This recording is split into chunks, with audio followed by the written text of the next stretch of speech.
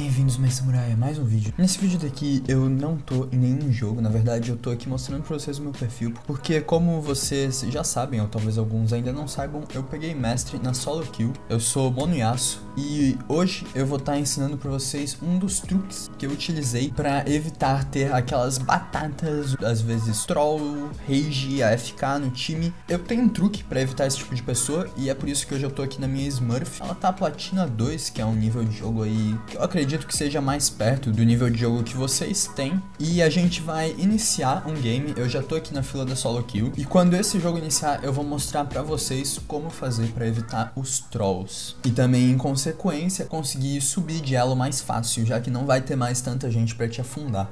Beleza, achamos a partida. Quando achar a partida, você aceita ela e a primeira coisa que você vai querer fazer depois disso é vir aqui, ó, como vocês estão vendo, tá mostrando as pessoas que tem no meu time, vocês vão copiar tudo com o mouse, puxa e dá Ctrl C. Agora a gente vai vir nesse site aqui que é o br.op.gg, dá Ctrl V e lançar todo mundo aqui. Você lança todo mundo porque você vai querer ver todos que estão no seu time. Às vezes pode bugar, como bugou aqui, e não aparecer as 5 pessoas, mas tá tudo bem, a gente vai analisar os que eu tenho aqui. Primeiro a gente tem um Mono Caçadin, que talvez seja Smurf, não dá pra ter certeza, ele tem 67. E a gente já vê que esse maluco aí caiu no top, que é uma pena. Em seguida a gente consegue analisar que tem esse Explode Gorda. Ele é monochaco e ele tá na jungle. Isso quer dizer que se ele pegar chaco é bom pra gente, mas ele pegou Nocturne. E a gente vê aqui que de Nocturne ele tem 33%, mano. Baniram o chaco dele? Não, ele só pegou Nocturne porque tava afim. Tem o AD Carry que é Mono Jin, isso é bom. Ele tem 55% de Jin.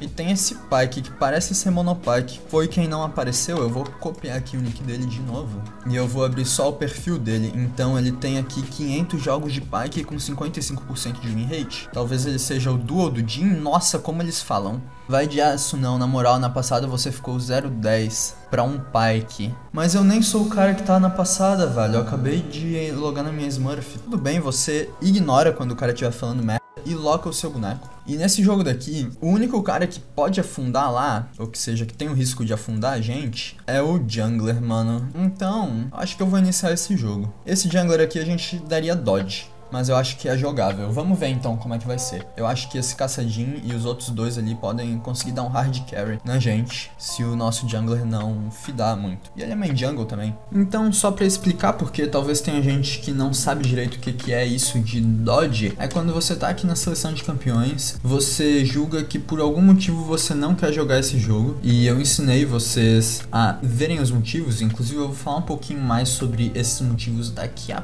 pouco, tá? Eu vou explicar um pouco mais a fundo isso. E quando você chega à conclusão que você não quer jogar com o seu time, você vem aqui, aperta no X aqui em cima, sair agora, sair e fecha o cliente. É isso. O que vai acontecer quando você fechar o cliente? Bem, você vai ter que reabrir ele e você tem que fechar antes da partida começar e assim a partida não inicia. Você vai ter uma penalidade de menos 3 pontos de PDL pro primeiro dodge do dia e pro segundo vai ser menos 10, então toma cuidado. Eu geralmente não gosto de dar o segundo, mas às vezes vale muito a pena. Mas esses pontos que você perde, a Riot vai te dar depois. Você vai perceber que nas suas próximas três partidas você vai estar tá ganhando um ou dois de PDL a mais, que é porque a Riot vai estar tá devolvendo esses menos 3 que você perdeu. Então é de boa você dar dodge, porque você vai ganhar um pouquinho a mais nas próximas e perder um pouquinho a menos. Ah, e eu também acho muito importante avisar que no primeiro dodge que você der, você leva uma penalidade de 5 minutos de espera. Você não precisa esperar na fila, você pode fazer qualquer outra coisa, você não precisa nem abrir o cliente. Se você der dois dodges seguidos, a segunda penalidade vai ser de 30 minutos, tá? Mas é só se você der dois seguidos. Se você jogar um jogo entre esses dois dodges, vai ser de 5 minutos de novo.